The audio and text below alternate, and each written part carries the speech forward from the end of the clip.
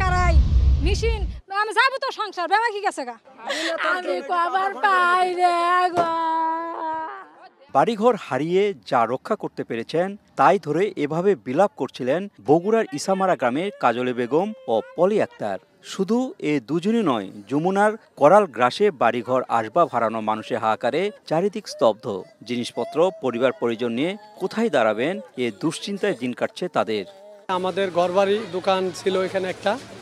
একদম নিচের দিকে ডাবে গেছে কিন্তু কিছু বার করতে পারে নাই। ছয়াল তিনটে নিয়ে বাই হ্যাঁ এবার আছি সবই গেছে গা তিনটে ঘর সম্পূর্ণ গেছে একটা কুটে জিনিস বাইকের বাইনে ঘর মধ্যে নেই গতকাল ভিটেহারা মানুষগুলো আশ্রয় নিয়েছেন পার্শ্ববর্তী শিক্ষা প্রতিষ্ঠান ও রাস্তার পাশে খোলা আকাশের নিচে। জানালেন তাদের দুর্দশার কথা। পাক করার জায়গা নাই কি খাই কি সমাচার এরকমই আর থাকার জায়গাও নাই। নদীর গর্ভে যাওয়ার পরে খোলা আকাশের নিচে আসলে প্রস্রাব পায়খানা খাওয়া দাওয়া খুব বিরাট অসুবিধার মধ্যে আছি আমরা। স্থানীয় প্রশাসন ভাঙন কবলিত সার্বিক সহযোগিতা ও নিরাপত্তা কাজ করছে। দেয়া হচ্ছে শুকনো খাবার। সরকারি বরাদ্দ পেলে তাদের পুনর্বাসন করা হবে বলছেন স্থানীয় সংসদ সদস্য।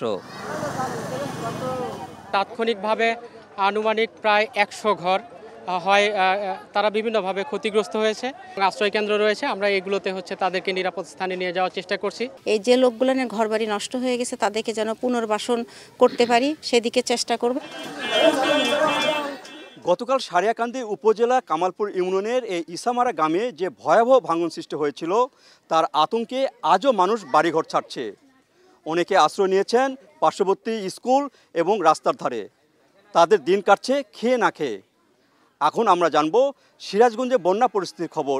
সেখানে রয়েছেন আমাদের সহকর্মী রিফাত রহমান। বগুড়ার মতো সিরাজগঞ্জেও বিপদসীমার উপর দিয়ে বইছে যমুনা নদীর পানি। পানি বৃদ্ধি অব্যাহত থাকায় প্রতিদিনই প্লাবিত হচ্ছে নতুন নতুন এলাকা।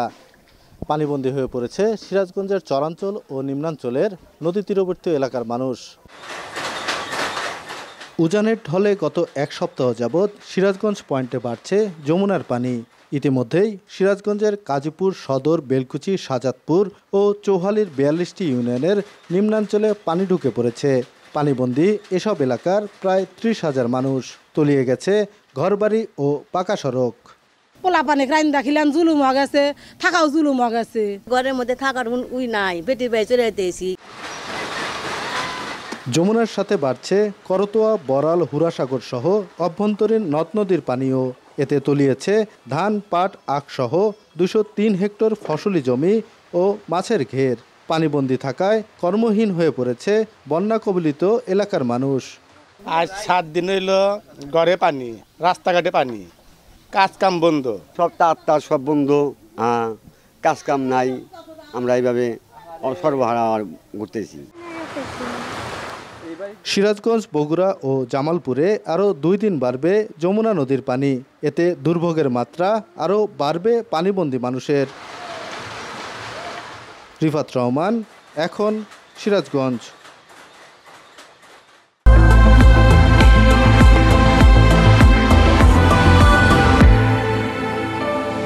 Harlan, be a show stealer.